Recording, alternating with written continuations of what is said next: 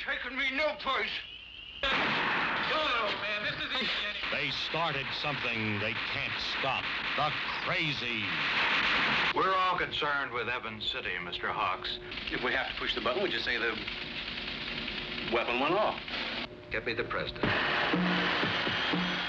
3,614 people are trapped by an unknown enemy. Five are on the run. Can they escape the spreading fury of the crazies? We can make it. I know it. Watch it, Bucky!